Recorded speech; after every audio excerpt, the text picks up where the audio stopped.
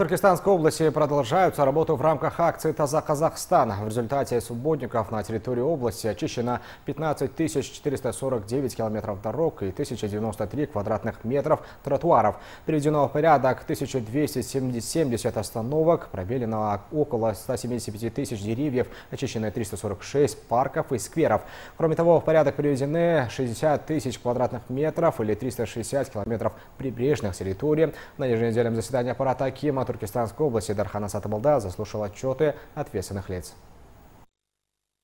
На сегодняшний день составлено более 14 тысяч протоколов и наложено штрафы на лиц, нарушивших требования закона в общественных местах. Во всех районах и городах до конца года будут организованы субботники согласно утвержденному плану. Аналогичные мероприятия утверждаются и со стороны управления спорта, культуры, образования, здравоохранения и других.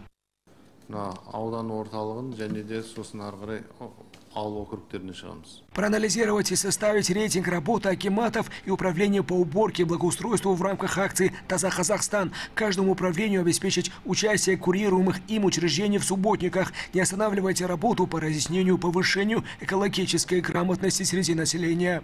По словам руководителя областного управления энергетики и жилищно-коммунального хозяйства Руслана Муздубекова, в регионе каждый день проводятся субботники и регулярно рейды с участием представителей правоохранительных и компетентных органов и СМИ по горячим точкам, где накапливается хаотичный мусор.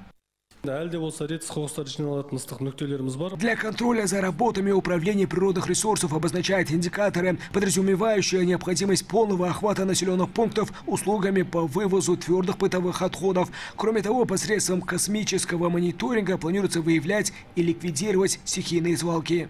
В эко-акциях будут задействованы молодые активисты, представители АНК, аксакалы, старейшины и другие влиятельные граждане. В целях усиления деятельности 18 государственных коммунальных предприятий, оказывающих услуги в районных центрах области, подана заявка на выделение средств из областного бюджета на приобретение спецтехники. В ходе анализа установлено, что районам и городам необходимо дополнительно 380 единиц техники. Ернур Бубиев, Нурбек Аскарова, новости.